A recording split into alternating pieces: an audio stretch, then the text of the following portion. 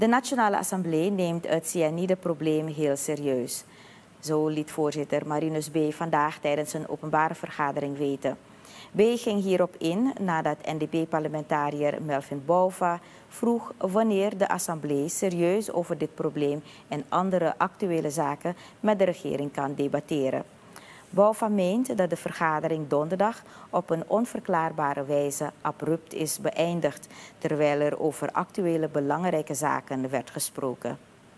Van het cyanide-vraagstuk, wat heel belangrijk en neepend is, tot aan voorzitter de kwestie van IMF en de, zeg maar, de deal met betrekking tot de bondholders, etc. Wij, en ik van deze kant, voorzitter, wil vernemen wat de orde ten aanzien daarvan is, voorzitter. Wanneer gaat die vergadering door? Is het later vandaag? Is het morgen? Is het vanavond? Is het overmorgen?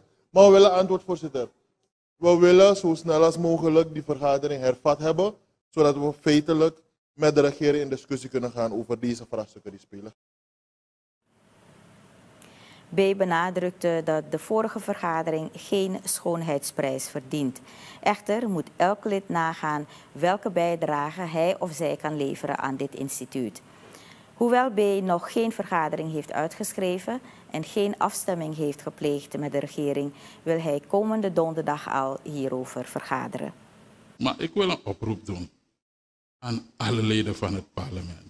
Laten we onze verantwoordelijkheid nemen. Laten we dit instituut proberen steeds hoger op te brengen. Want we zijn er voor het volk. Maar wat we hebben gepresteerd verleden, en daar ga ik niemand verwijten, maar het was het parlement onwaardig. En het draagt ons allemaal, alle 51 nu met een bezetting van 50 leden. B ziet graag dat elk DNA-lid zichzelf gaat evalueren. Er moet nagegaan worden of het parlement respect wil afdwingen van het volk of daar geen behoefte aan heeft. En tot zover onze berichtgeving over de mogelijke cyanidevervuiling in Brokopondo.